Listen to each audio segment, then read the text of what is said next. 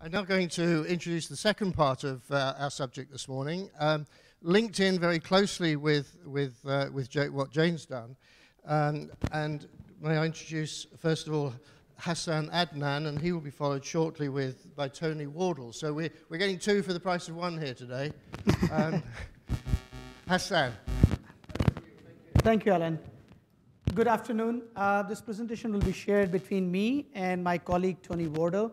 I'm the head of learning and leadership development at BAT globally, and Tony Wardle is the learning, innovation, and technology manager. But he keeps on changing role every year, so he's changing it again soon. Uh, I will take you through a journey of two and a half years at British American Tobacco, which is about the learning transformation journey. As a global business, we, we transformed our learning and leadership development. And it is important to understand in that wider context because uh, it had a number of elements. It had the competencies, learning management system, leadership development, and there was a reason why we packaged it in that way, because we had to make it attractive to the global stakeholders so they have the right hook to buy in, in, into this transformation as well. So in terms of the content, uh, the first half of this presentation, about 10 minutes, I will give you an overview of the learning transformation, also the context, uh, why we were doing and what was our strategic intention uh, in terms of achieving the business benefit. Then we actually have a one-minute video as well, which will give you a flavor of how does it look like, how does it feel, how, you know, uh, how, what is in it there, what is the content in there, and how the process works. And then I will hand it over to my colleague Tony Wardle, who will come in and drill a bit deeper into the competencies and how do they link into talent management, development, recruitment, and other areas within the company as well. As we go on, we'll try to share some of the lessons learned as well, uh, and especially at the end, then we have one slide uh, Uh, many of those you would find are common across many companies, so something we could learn from each other if you are embarking on similar journey as well. Right, starting with a very brief introduction of BAT, and that's again part of the context. BAT is a global company. We are present in 180 countries in the world, selling over 200 brands. More importantly, we have 60,000 people spread in these 180 countries. We have 12,000 managers, and we are a highly global matrix organization. So we have regions, we have global functions, and HR is supporting all of these uh, as a business partner. In terms of the financial performance, BAT has been one of the strongest performers on FTSE over the last 10 years. So this slide, I'll try to paint a picture. Uh, where were we? When I say where were we, I'm looking at 2009. So the journey that we took was really starting around 2009, and then we, uh, over the two and a half years period, we have not only delivered uh, and now in the phase of embedding it in the organization. So BAT had been very highly dependent on face-to-face -face learning. So very highly dependent, face-to-face, uh, bringing people to classroom training, and it worked in the past. So has been very strong on talent management and talent development, but the way we were doing it, we were duplicating a lot of effort and wasting a lot of money as well. And the reason is because we were very self-sufficient in terms of our L&D approach and capabilities in the end markets, in the regions, and in the functions. And that's because of the history of BAT as well. BAT has been a federation of operating companies. And traditionally, we have been self-sufficient in managing our own talent, learning, leadership development strategies in the big markets, in the regions, in the global function as well. The global talent at that time was primarily looking after a set of international programs and bringing in about 1,100 to 1,200 people globally every year to UK for the international programs. Other than that, the end markets and regions were pretty self-sufficient and they had the capabilities in delivering the full portfolio. As a result, we had 20 different versions of change management. We had 20 different versions of communication. We had, you know, so they were all over the place. And then the global functions also moved or stepped into the competencies a few years back. So some of those functions had their competency frameworks. They were not consistent. These competency frameworks had mix of behavioral competencies as well as items from role profiles. So they were pretty much all over the place. And then operations, which was the first function to have successfully rolled out the competency framework globally, when they got all the data back from the system previously we were using, uh, they had more than 60,000 data lines on Excel to analyze, and then the whole organization was waiting, and we were not able to make a sense out of that data. So those were the challenges we had. At the same time, the functions were moving into more and more blended approach as well. Uh, so some of the functions had introduced finance learning zone, marketing learning zone, and as HR, we were quite a few steps behind. But the biggest issue was there wasn't a consistent approach, it wasn't integrated, and we were duplicating a lot of effort and energy around it. Finally, the point here in terms of uh, the picture here, when we started looking at it, there wasn't any visibility, there wasn't any way of accumulating, aggregating, what are we spending on learning, what is the impact of learning, because we didn't have a global single, single system in the company. So we had 250 plus leadership programs in the company, and we had 16 plus learning systems in the company at that time. So with that, we started looking at what is our strategic intent and what do we want to achieve. So one of the first key thing that we wanted to achieve was link all our learning and leadership development to business strategy and competency frameworks. So as long as we are able to anchor it to the business strategy and leadership and learning competencies, that was the first intention that we said we want to have. Because in the previous world, we were doing development planning, but that was not linked to the competencies. We were not able to track. We were not able to look at what is the impact of learning and doing all of the development planning. So we wanted to link that. We wanted to move towards uh, fully integrated talent processes and also move from a very limited coverage of our learning into more total management development or total workforce development. So world-class learning is available to all people easily at the point of need as well.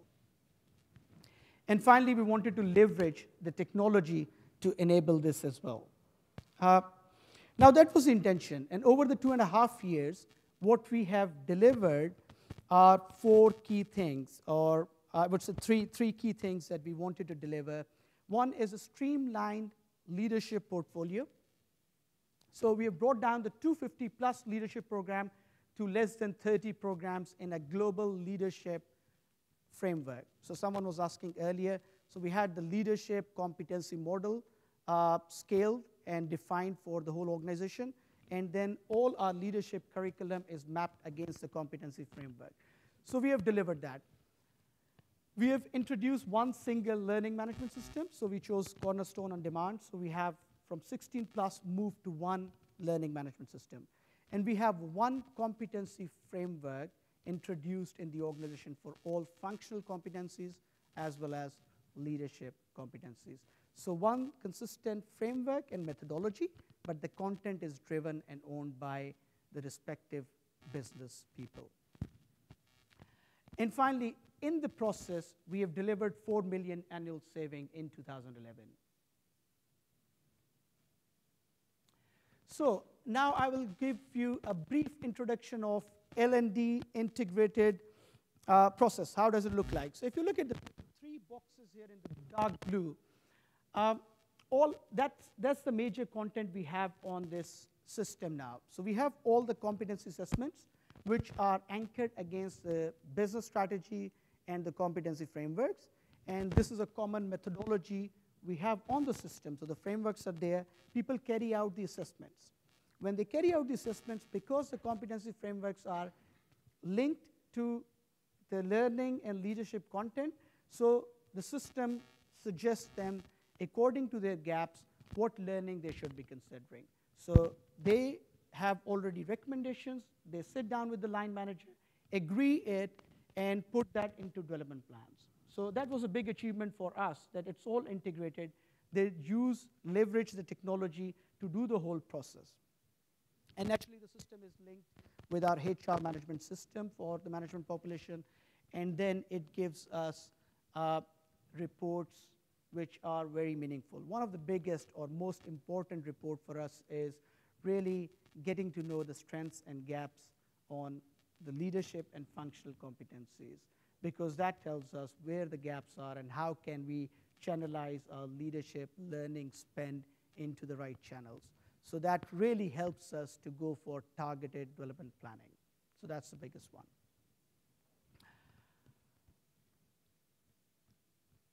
And now I will share the video, but before I share the video, a couple of comments here. I mean, it's, it's, it's been a journey full of challenges. So today we can stand here looking back, smile at it, and talk to you about this, but there were loads of challenges. I'll talk about a couple here, uh, and then Tony will bring it up later in his presentation as well.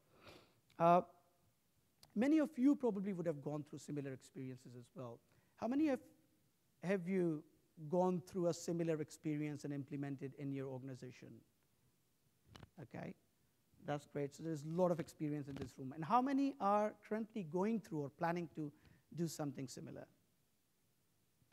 Right. I mean, my advice is that there's a lot of learning out there. You will have specific issues and challenges in your organization, but you can learn and see what strategies you uh, deploy in terms of overcoming those challenges. The two that I will mention here is one is the big stakeholder engagement. That's never enough. In a global matrix, 180 markets, regions and functions, very powerful, no solid reporting line into the global talent or my role at that stage. You know, it's a, it's a massive challenge to manage that.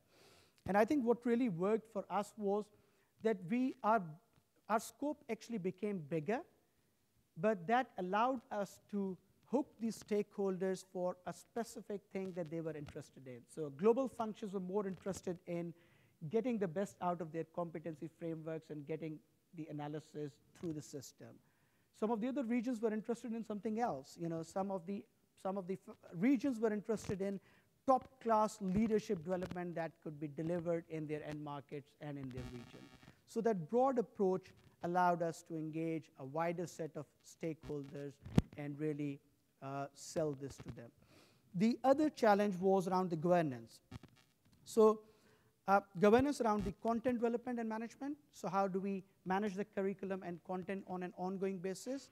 Uh, because we don't want to go back into duplicating all the effort again. So that governance is very important. The governance around the system and data management as well. So that's not only about putting once in a piece of document, but what we found out living that governance is an ongoing challenge as well. So I think these two pieces really stood up for me, which took a lot of our time and effort in terms of driving it. So one of time. Uh, that's right. So I'm putting on the video now, and after the video, you won't see me here, and Tony will come in and take you through the rest of the presentation. Enjoy the video.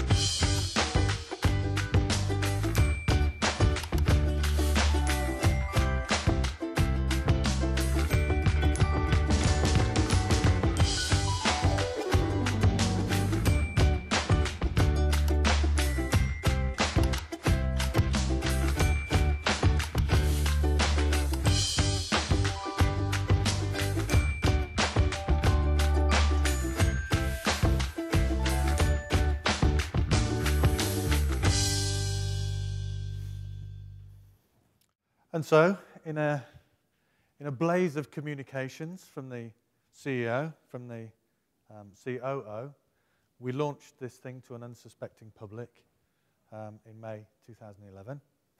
We chose, the project board chose not to pilot, so we went straight for a full launch of a new global uh, leadership curriculum, new rebuilt capability frameworks, and not only that is, for the first time in BAT's history, we said it's now mandatory for all of you 12,000 managers to have a development plan. So at the end of October, when we close that development cycle, um, we can tell you that 79% um, have a, a full development plan that's signed off with their line manager. Although not mandatory, we found that we had 87% of people chose to use either the leadership capability framework assessments or functional or both um, to help them deliver their plans. And in the coming months or in the, in the months after, in the aggregation that we've done and the analysis that we've done of those development plans, we now see that we've got nearly 10,000 requests for um, uh, a learning intervention. We've got 12,000 um, identified pieces of e-learning requested and underway. And we also were able to look at the softer kind of skills, so coaching, they were all noted in their plans as well. So although we've got that data, we haven't yet analyzed it yet in such a way that we can start to look at have we got our 70, 20, 10 mix, or are we close to it, or what are we doing about it? And okay, with 10,000 learning interventions, I doubt we'll deliver that all this week, uh, this year, but it gives us a chance now to look at those, prioritize them, and look at the, the, the learning gaps and the capability gaps, and to, to make us um, sure that where we're spending our training bucks is in the right place. Sorry, I thought you were going to mention it earlier on. So 70 20 10 mix is our, our ambition to do 70% of our learning um, off in the job or coaching with the line management. 20% is through an E, so e-learning or webinars, those kind of things, and 10% through uh, face-to-face -face learning. So that's the ambition.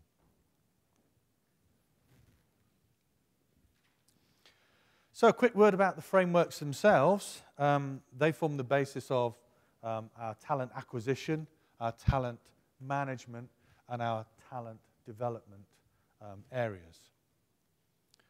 The competency frameworks themselves, we, we have two flavors. We have our leadership capabilities, and we have our functional competency frameworks.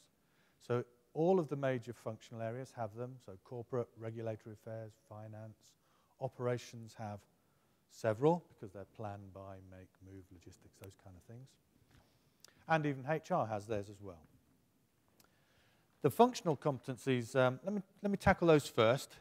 They are owned by the business, and they have been developed by the business themselves, with, in partnership with the HR, uh, with a consultant from the group talent um, area. Now, they are based and um, built around the operating model by understanding the organizational tasks and then the organizational capability to deliver those tasks, and then the personal capabilities that you need um, in that function to deliver business excellence. The role of the group HR um, consultant is to pull in the strategies, pull in the business excellence, get the wording right, get the frameworks right, and we used Bloom's taxonomy to give us a framework of reference for all of the, the frameworks across the board. And, and as Hasan sort of uh, talked about earlier on, that gives us a, a good framework for analysis. So what we're doing now is we're looking at gaps. On a personal basis, your gaps and your assessments will help you do your own personal development plan.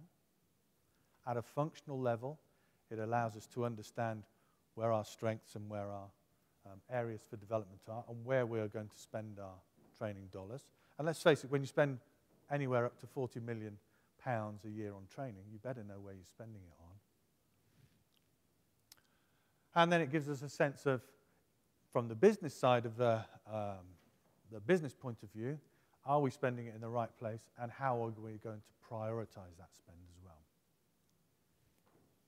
For our talent review meetings, it's going to form one part of our potential rating. So from the performance review, performance assessment, um, you will get your performance rating.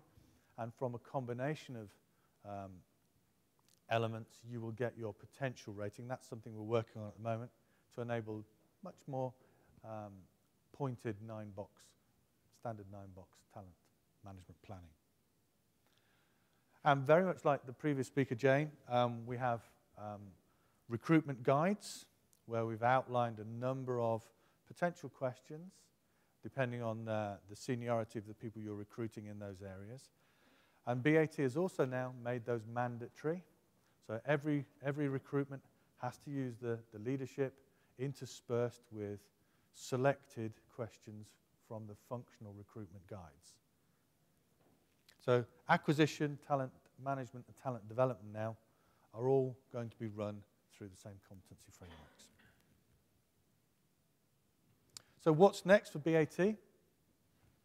Well, it's certainly ambition, our ambition to um, move this uh, much further down the performance. So we don't have performance management in there or talent or succession management yet.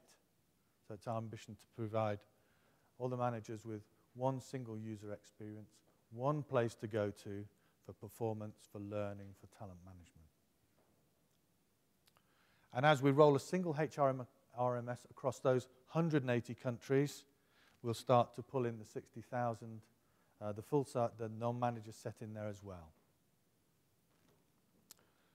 And as you're an international company, we're further going to add a layer of complexity by adding a number of languages on top of that as well.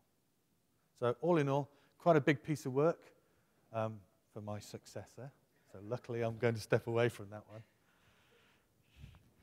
So what was the, uh, the approach? I'm not going to read these out to you. I think there's a, there's a couple of items that I, I will just um, think from either side. I think the very top one on the left-hand side, you cannot, um, you cannot sort of conceive of doing a project like this without having a cross-functional, cross-regional set of stakeholders.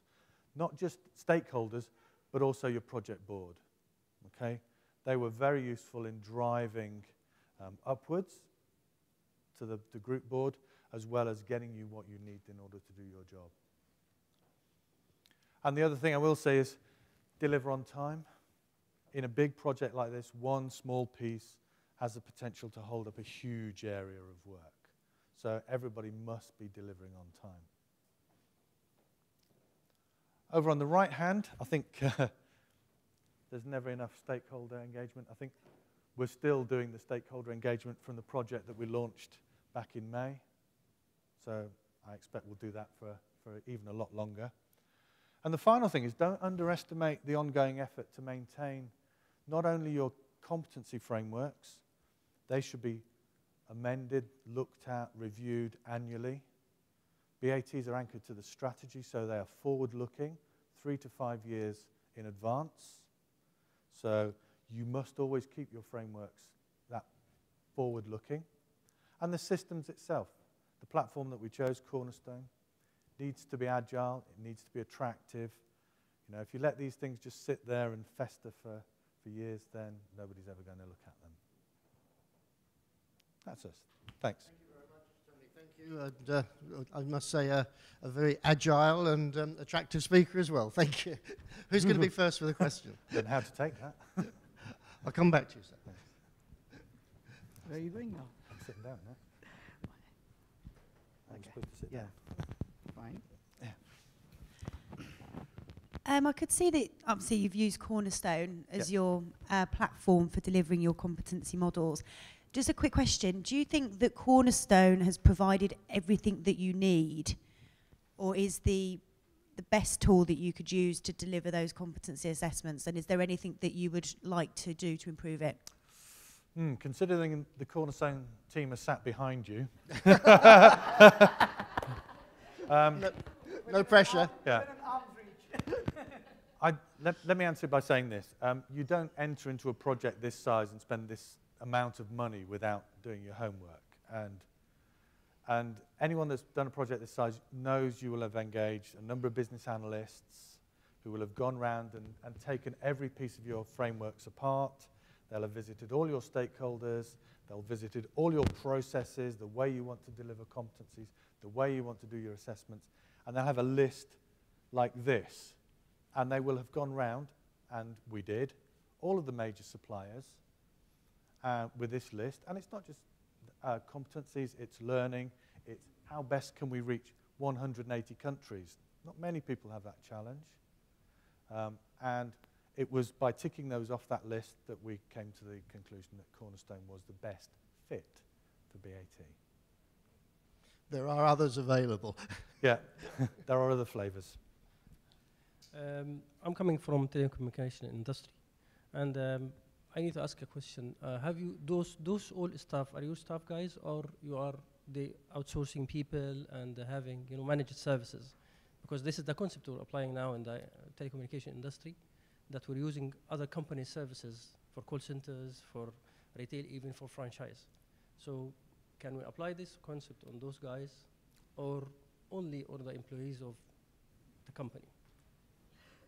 Where BAT is, I mean, we don't have any outsourcing. Are moving into uh, uh, HR transactional model as well. So a different service delivery, but we'll have in-house. So we have in-sourcing, and we'll have our own HR shared services as well.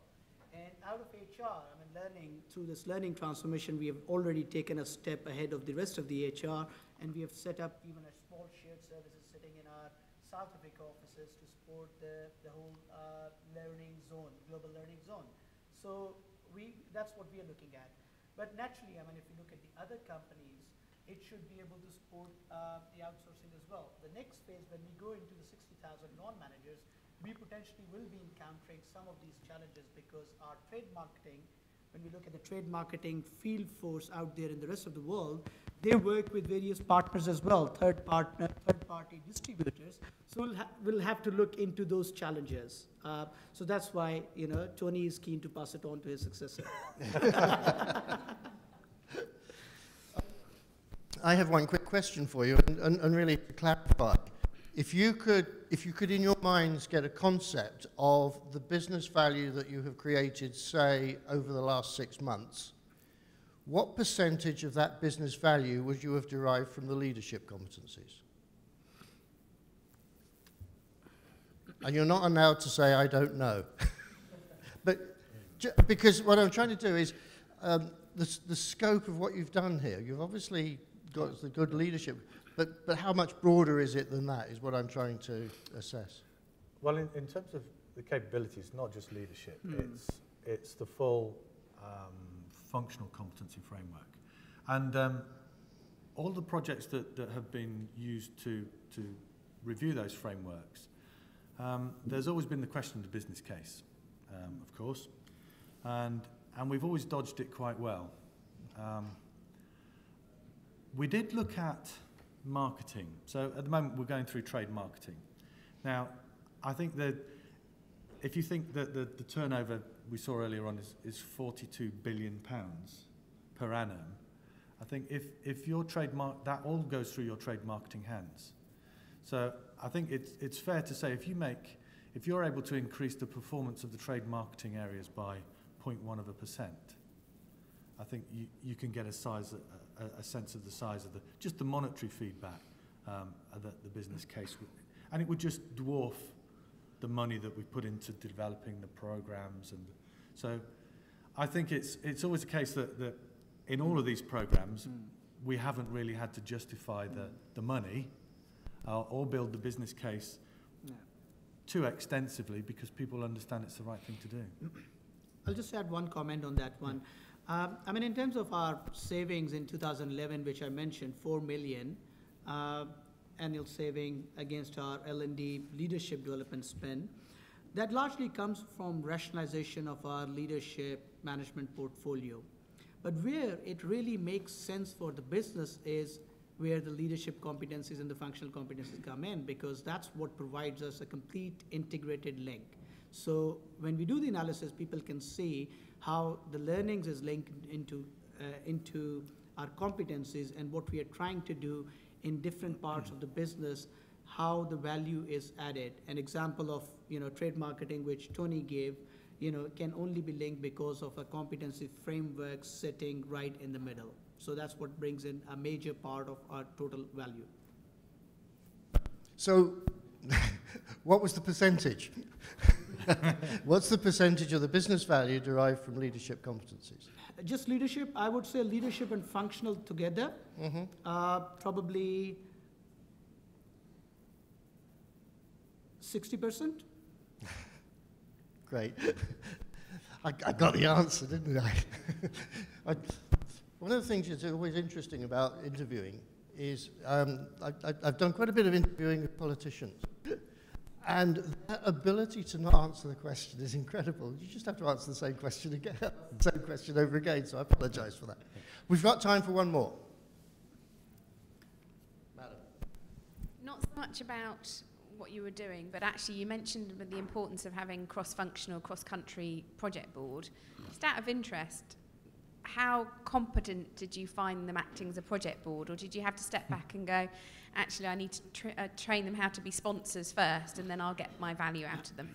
I should say that I spend a lot of time with boards of directors teaching them how to be project sponsors. Right. So. I think uh, there were challenges regarding governance as well. Uh, and frankly, we went through the initial phase of six months where the governance keep on changing. And that's when we picked up our project board ourselves. So we pushed to have a project board and we chose the people who we would like to be on the project board because otherwise it started with the CEO committee, which was fine for the overall approval and direction. Then it got changed into HR, portfolio review committee, and then it went into the systems board committee. So we had those changes, and we wanted one consistent body who can still understand what we are trying to do and sign off on certain things. And that's where we brought in the cross-functional project board, and that was very helpful. And we brought in those people who, uh, you know, understood it better than better than uh, many of the other senior stakeholders. So uh, it, it helped us that way. I was just going to say, if anyone has any other questions, we'll be down on stand 32. I, yeah, I was I'm going to close it by exact, saying exactly that. That both our both our speakers, all three of our speakers, will, will be at the front at the end here. So if there's any other questions to ask them, uh, do do feel free. I mean, the great part of, of- of a conference like this, where you can talk to practitioners, is that you can figure out what's going to go wrong before it goes wrong. And we had a great opportunity of doing that today. Ladies and gentlemen, please show your appreciation for our three speakers. Thank you.